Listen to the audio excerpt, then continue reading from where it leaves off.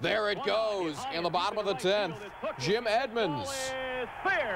Trust me, the ball is gone. The ball not pictured. All you need to know is Jim Edmonds hit one off of Paul Spoljaric, and it's over. The Angels win 5-4 and 10. Pat Hentgen and Mark Langston in a pitcher's duel. They Lankford, he got it. This off Ramon Martinez. Solo shot. Only his second game since coming off the DL. Cards up 1-0. Same score, top of the sixth. Going for the double steal of the Cards. No play at second, but here comes Dmitri Young and his 235 pounds at the plate. Mike Piazza holds on to Greg Gagne's throw. Bottom of the sixth, Piazza now at the plate. Base hit right center. Brett Butler scores to tie the game at one. We go to the bottom of the eighth. One out, bases loaded. Raul Mondesi, base hit, left side off Mark Petkovsek. Greg Gagne scores the game-winning run. Your final score, as Brett Butler enjoys watching this, is a two-to-one final. Ray Lankford was 2 for 4 with a home. Keith Olbermann. As the 12 and 4 Orioles were playing the White Sox and the Lyle Mouton fan club might be up and running. It's a 2-1 game, and here the White Sox explode in the fifth. Ron Karkovice is a single to left. Sox take an 8-2 lead. But look out, because Eric Davis with a grand slam off Jaime Navarro in the seventh to tie the game at nine apiece. Navarro gave up nine runs in seven innings. You think he knew this one was gone? I'm the man. He's the man. Everybody knew he was the man. Top of the 10th. Runners on first and second. Nobody out. Albert Belle facing Armando Benitez.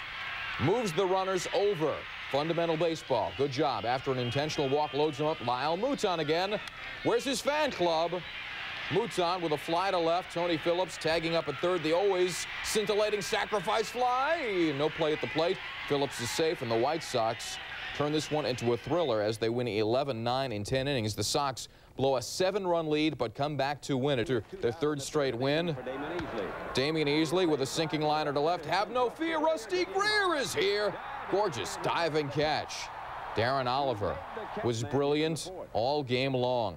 Melvin Nieves. Smoke. More from Oliver. Travis, oh, forget about it, Travis Fryman. Omar Olivares just as effective as Benji Gil swings and misses. Top of the ninth, Rangers up 1-0. John Wetteland in to save the day. Damion Easley fly to right. Marc Sagmoen, oh, he dropped it. Easley goes to second on the error, and that would prove to be costly because two batters later, with two down, it's Tony Clark. Base hit up the middle, Easley scores. We're tied at one, and Darren Oliver just watched his win slip away. Bottom of the ninth, tied at one. Two men on. Pinch hitter Mike Simms facing Dan Miceli. That is a blooper that is not only a blooper, but it ends the game. Good night, game over. Drive home safely. Rodriguez scoring. Rangers win 2 to 1. John Wetteland blew. 1 0 Marlins in the second. Jeff Reed at the plate with two men on. Slaps the Kevin Brown pitch to left for the single. Andres Big Cat Galarraga scores. We're tied at 1. Still tied in the third. Gary Sheffield sends it high and deep. And aloha means goodbye off Jamey Wright. 440 feet. His third of the season. Marlins up 2-1. Tied at 2 in the sixth. Men on first and second for the Rockies. Walt Weiss taking Brown deep and off the wall and right. Vinny Castilla scores.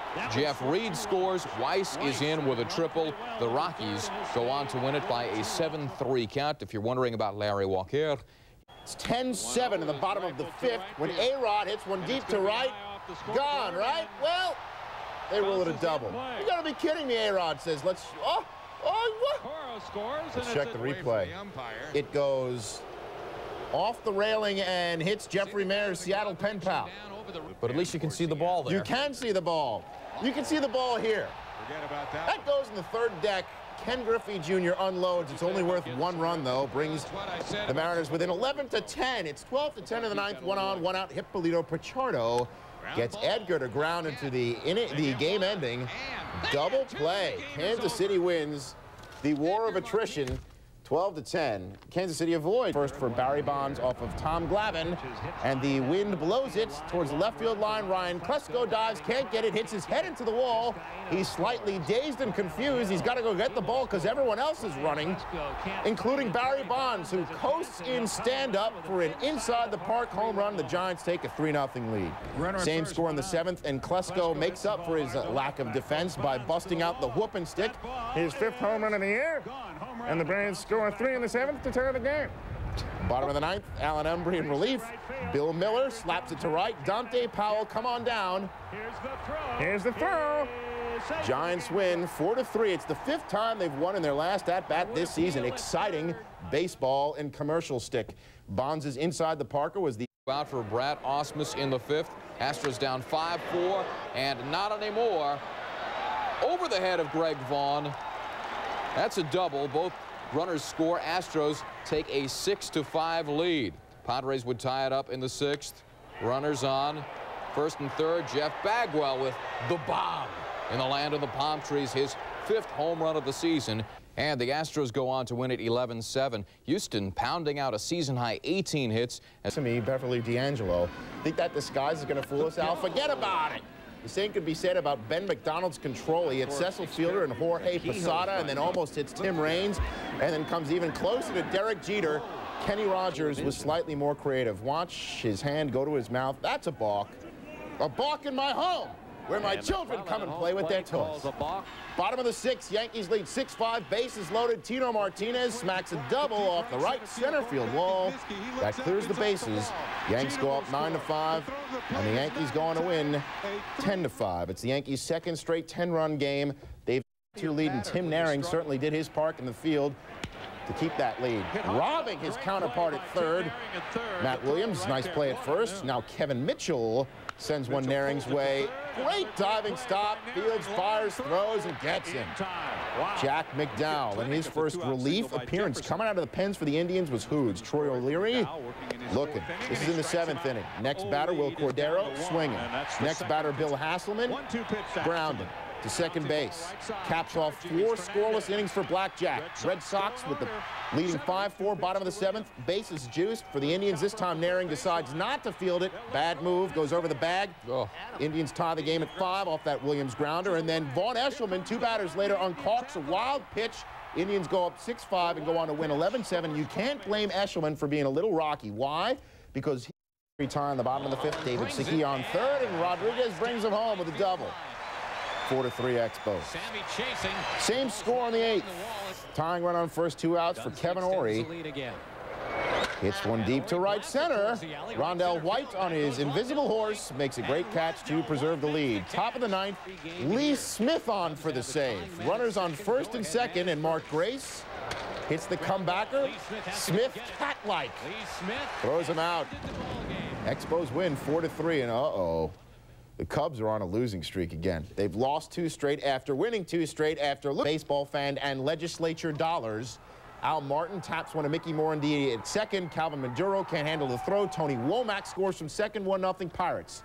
Pirates now trail 2-1 in the bottom of the seventh. Jason Kendall, fundamental baseball, gets Kevin Elster over to third, less than two outs.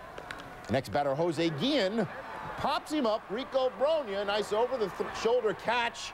Elster coming home, the tag, he's safe. Game tied at two, where we find the bottom of the eighth, runners on first and second, Mark Johnson off of Eric Plantenberg, scoring Jermaine Allensworth. The Pirates battle back for the three-to-two win. Johnson only one. The winning record, goes against Mark Loretta and paints the outside corner. Bottom of the first scoreless game, Brian Giles been battling with Kevin Mitchell for playing time. Mitch hasn't been hitting well. Giles is rocking. Off Cal Eldred, a dead center tater over a leaping Chuck Carr. Giles throw to the ear gives Cleveland and Nagy a 2-0 lead. 3-0 in a fifth. Matt Williams, but a diving stop by Jeff Cirillo. Cirillo went hitless in the day, but made great defensive effort to make it still 3-0. By the seventh, it was 40. Look at Marc Newfield just reach out and touch Nagy into the right field corner. After Ramirez bobbles it, Jaha will come all the way around and make it a one-run game. Stayed that way to the ninth. Omar Vizquel, it's his birthday. He's aboard, and Tony Fernandez lets him take the cakewalk home. Fernandez first home run of the year. Indians build a 6-3 lead, then hand it over to Jose Mesa. Used to be known for a gas. Now he goes off speed, bends one on Loretta. He pops it up to Fernandez. And on Barbra Streisand's 55th birthday, the Indians notch a win that knocks the Brewers to their fifth straight loss. They now have a losing record, a good start. Travis Fryman gives Justin Thompson a lead. Roger Pavlik set a league record by walking the first four he faced last time out. He didn't walk anybody today, but he gave up that gopher ball. Then Thompson, the native Texan, is quick on his feet to rob Rusty Greer. We go to the seventh. Raul Casanova. Did he go on Pavlik? He didn't think so. Buddy Bell certainly thought Dale Ford's strike call was a little late. Whatever Buddy said got him kicked out. Rangers trailing, and then it's all been Pudge Rodriguez in this series. Mike Simms puts himself in scoring position and in an embarrassing spot when he stumbles to a double. Then they walk the bases loaded. Mike Myers facing Billy Ripken. He's on the pinch hit for Warren Newson when they brought the lefty in and Ripken with a ringing single and then Pudge. He had the game-winning run last night, hit a home run as well, and this time he knocks in Mike Devereaux and Lee Stevens. The Rangers come from behind and win it and hold on after that seventh. Not your traditional leadoff man, but can he hit? Brady Anderson going back. He knows this park well. Gets the wall. Remember, he's playing with a cracked rib. He's holding it there, but Brady stuck with it. Later in the show, we'll show you how weightlifting may have helped him there. Jim Corsi, the Boston native, has just been awful in his return to his hometown. Chris Hoiles' third home run of the year ties the game at one with a solo shot in the eighth. To the ninth, two aboard, nobody out. Cal Ripken on, which the lead and two-run lead runs aboard, and instead Garciaparra starts an easy 643 double play to the 10. Mo Vaughn has hit nine home runs at Camden Yards in its short history. Arthur Rhodes gives him to the warning track, but that's it. To the 12th. Garciaparra gets into another one. He had just one hit on the night. We showed you the one that almost took out Brady Anderson. This one takes Terry Matthews out of the yard, the rookie's fourth home run of the year. Then Butch Henry, who can only pitch every third day, gets another big double play. The roller from Chris Hoiles. And John Valentin says, I don't care if he stole my job at Schutzel, who last year threw a one-hitter at Wrigley Field, was baffling the Bucks, like South Jermaine Allensworth on a wild pitch. It should become a significant factor in this game. Three batters later, Allensworth on third. Kevin Elster at the plate. Al Martin gets caught in the rundown. Sandberg lets Allensworth score before they get him in the out. The Pirates take a 1-0 lead. Traxler Stewart not allowed to hit. To the sixth, great breaker there on Al Martin. No hitter through six. Mark Johnson, who a night ago had the game-winning hit against the Phillies, gets the first hit of the night over Sammy Sosa. He'd scored a sac fly. Pirates break a one-off tie to take a 2-1 lead. Then a grooved pitch to Doug Glanville off Marc Wilkins. That double will give the Cubs a 3-2 lead in the bottom of the seventh. Sosa comes in. Melo Rojas comes out of relief. Jason Kendall checked his swing. Jim Riggleman can't believe it. Kendall stays alive, and the All-Star makes it work. Into that dead ivy in left field to tie the game at three. Rojas, the chopper. Rey Sanchez, a late replacement, comes in at shortstop and throws it away. Jason Kendall gives him the lead, and the Pirates hold on to win it. But with Lucelle picking a slam from the day before, tees off on Greg Swindell. Frankie Rodriguez got knocked out in the second inning, but Swindell didn't exactly pick him up. Fizio doubles in a couple of more, three for six, three RBIs in the day. By the fifth, it's eight to one A's, and back come the Twins. Roberto Kelly off Dave Telgheder. That'll drop off the warning track. Matt Lawton makes it 8 to 2. Kelly had three RBIs. And then Terry Steinbach against his old battery mate. There it goes. Steinbach's first home run as a twin in his old ballpark. With two aboard, the three-run shot gives the Twins a 9 to 8 lead. By the ninth, they're up 11 to 8. Brent Mayne off Rick Aguilera. A solo shot in the ninth. He's still got a two-run lead. Matt Stairs, though, hits a two-run homer to tie the game. Two ninth-inning homers off Aguilera. We're all 11s in the 11th. Aguilera's still in there against Jose Canseco. Wild pitch, it gets away, and in comes Tony Batista. A wild one ends that way, 12-11 A's. After getting some work in during Sunday's